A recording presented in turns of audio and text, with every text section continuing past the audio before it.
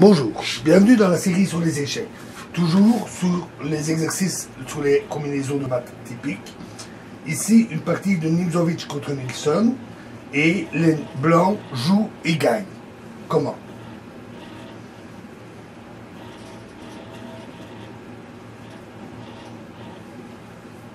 Eh bien, ils ont joué tour D7, qui cloue le fou.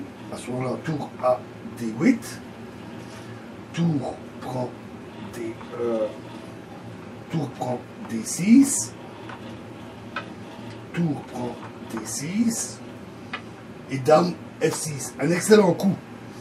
Euh, et là les blancs les noirs ont abandonné. Parce que seul dame prend E5 pour il y a une menace de mat évidemment. Et seul le sacrifice de la dame par dame prend E5 euh, aurait permis de prolonger la résistance, mais pas de très longtemps avec la dame en moins.